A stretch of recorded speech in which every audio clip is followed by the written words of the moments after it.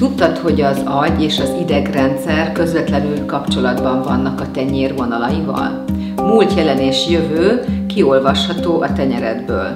Most februárban, február 7 és 12-e között itt Budapesten megtanulhatod a tudományos tenyérelemzés technikáját közvetlenül indiai karmaguruktól. És a tanárává is válhatsz, az azt jelenti, hogy másnak is áthathatod ezt a csodálatos ősi titkos tanítást.